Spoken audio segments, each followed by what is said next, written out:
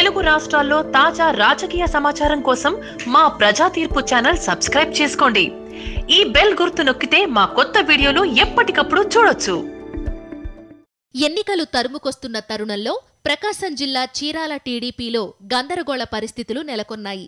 గత ఎన్నికల్లో TDP ticket ఆశించి చంద్రబాబు చేతిలో అవమానానికి గురైన ఆమంచి కృష్ణమోహన్ ఇండిపెండెంట్గా పోటీ చేసి ఘన విజయం సాధించారు. ఆ తరువాత ఆయన టీడీపీలో చేరిపోయారు.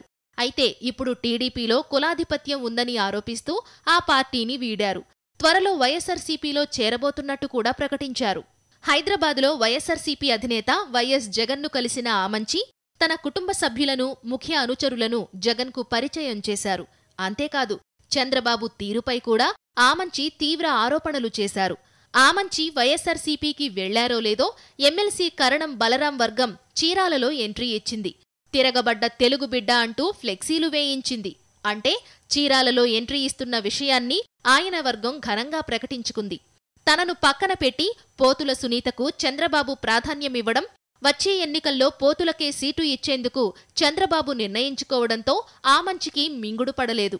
ఈ కారణంతోనే ఆమంచి టీడీపీని వీడినట్టు సమాచారం.